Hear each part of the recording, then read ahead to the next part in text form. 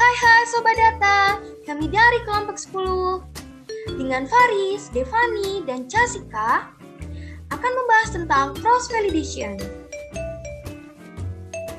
Apa itu cross-validation? Cross-validation merupakan suatu metode machine learning untuk memilih kombinasi data train dan test dengan melakukan iterasi agar memiliki akurasi yang baik. Selain itu, juga digunakan untuk membagi dataset sebagai training dan test set.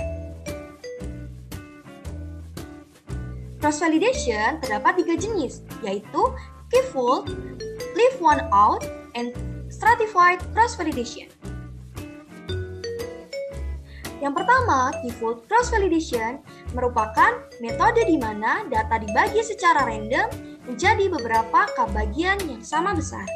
Kemudian dilakukan training terhadap K-classifier dengan menggunakan beberapa bagian, dan tes dilakukan dengan bagian yang lain. Akurasi akhir yaitu akurasi rata-rata dari sejumlah K proses. Berikut ilustrasi dengan tenfold cross-validation. Pada iterasi pertama, bagian ke-1 hingga 9 dijadikan sebagai training dan bagian ke-10 sebagai test set.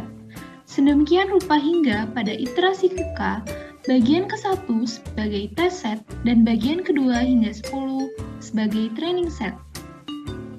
Kemudian selanjutnya ada leave one out cross validation. Metode ini hampir sama seperti k-fold cross validation, di mana membangun model dari seluruh dataset dikurangi satu baris untuk tes set. Perhitungan akurasinya yaitu persentase dari seluruh iterasi yang terjadi correct classification.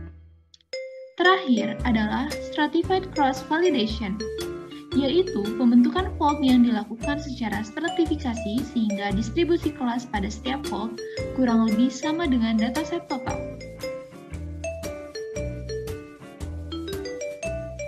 Selanjutnya, kita akan merunning dengan software R. Berikut adalah contoh pengaplikasian cross-validation menggunakan software R. Data yang digunakan adalah data German Credit yang terdiri dari 9 atribut dan 1000 record. Untuk tahap pre-processing data, menggunakan library Vistate agar, agar mudah. Tahap pre-processing data yang digunakan dalam praktek ini adalah pengecekan missing value menggunakan coding business dari data Jerman. Dapat dilihat tidak ada missing value pada setiap atribut sehingga 100% data tersebut tidak memiliki missing value. Setelah data dipersiapkan, kita melakukan cross validation yang pertama adalah cover cross validation dengan K sama 10. Yang pertama, siapkan library karet. Kemudian, definisikan train control dengan metode CP dan number iterasi sebanyak 10. Kemudian, siapkan model dengan kelas sebagai variabel dependent dan data yang digunakan adalah data jernih. Kemudian, tampilkan model. Berdasarkan model yang diperoleh nilai akurasi yang terbaik sebesar 0,724 dan nilai kappa yang terbaik sebesar 0,186. Artinya, jika data dalam kondisi balance, maka akurasi model diperoleh sebesar 72,4% dan apabila data dalam kondisi imbalance diperoleh diperoleh akurasi sebesar 18,6% dengan dua variabel yang signifikan.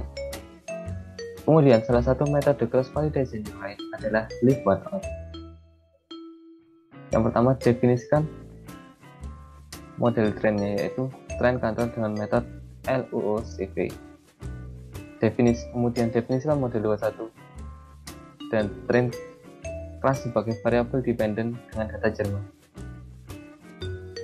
Kemudian print model 21 Berdasarkan model yang diperoleh, ya akurasi yang terbaik diperoleh sebesar 0,733 dan kappa sebesar 0,221 yang artinya jika dalam kondisi balance 73,3% model tersebut akurat namun jika dalam kondisi data imbalance nilai akurasi model yang diperoleh sebesar 22,11% dengan maksimal dua variabel signifikan Perbedaan nilai akurasi kappa dan akurasi yang terlalu jauh dapat dikatakan bahwa model yang terbentuk kurang baik bila menggunakan cross validation. Salah satu langkah yang digunakan untuk mengatasi hal tersebut adalah melakukan tahap pre-processing lebih lanjut, salah satunya dengan melakukan standarisasi data atau transformasi data. Baik, sekian dari kami. Terima kasih dan sampai jumpa.